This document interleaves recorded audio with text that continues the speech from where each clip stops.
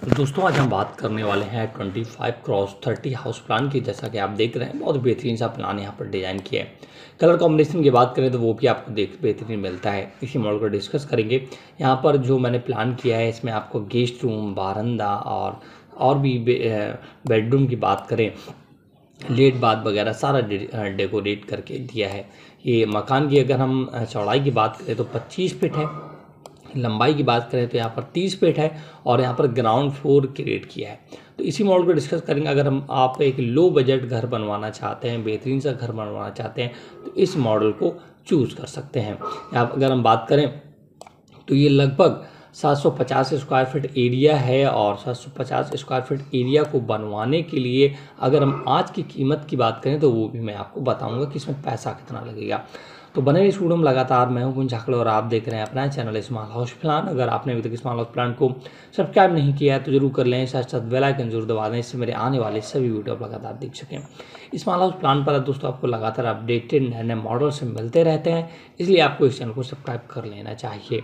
अब इस मॉडल की बात करें, अगर तो मैं इसे जूम करके आपको दिखाता हूँ, इससे आपको इसका रियलिस्टिक व्यू रेलिंग का रियलिस्टिक व्यू मकान का रियलिस्टिक व्यू बहुत ही प्रॉपर तरीके से दिख सके।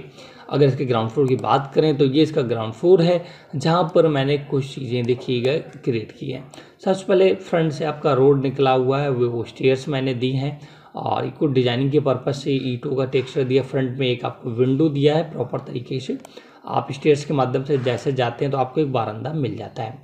ये पिलर हैं, आपको जो रेड, गुलाबी कलर के दिख रहे हैं, रेड कलर के, और ये एक, जो नीला कलर का लगा हुआ है, ये आपके डिज़ाइनिंग के पर हुआ है। इसके बाद फ्रंट डोर ये है, जहाँ से आप एंट्री करेंगे, ये एक विंडो है। साइड की बात करें, जो गेस्ट रूम मैंने क्रिएट किया, उसमें भी एक डोर दिया है, साइड से अगर आप बाहर से जाना चाहते हैं तो यहाँ पे, ये आपका एक गेस्ट रूम है, फ्रंट में, जिसमें आप एंट्री कर पाएँगे साइड से।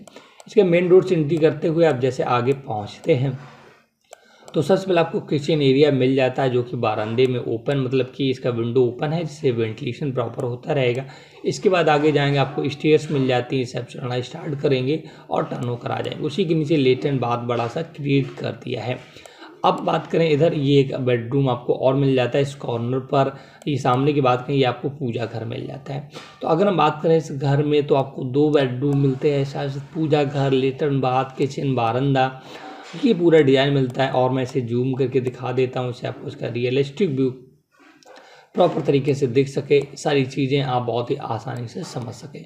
तो ये तो बात हो गई ग्राउंड फ्लोर की 25 क्रॉस 30 हाउस प्लान की। अब बात करते हैं इसके लास्ट फ्लोर की। तो लास्ट फ्लोर पर क्या मैंने क्रिएट किया है? कुछ भी नहीं, साढ़े तीन फुट का चारों तरफ़ बाउंड्री और जो रेलिंग क्रिएट की है, वो रेलिंग आपको एक बेहतरीन लुक देने वाली है। वो रेलिंग आपकी, ये देखिए, बनकर रेडी हो जाती है। सबसे पहले ईंटों का टेक्स्चर है और उस पर स्टील के पाइप ही लगे हुए हैं और ये ब्लैक कलर के बॉक्स हैं जो कि आपको डिज़ाइनिंग के पर्पज़ से, ये आपकी गुमटी है जो स्टेयर्स को ढकने के काम आएगी और ऊपर आएँगे। इसका ये आपकी छत गुमटी के ऊपर दो कलर की मैंने डिज़ाइन की से आपका व्यू जो है वो प्रॉपर आ जाए। अब हम बात करें इसके कॉस्ट की।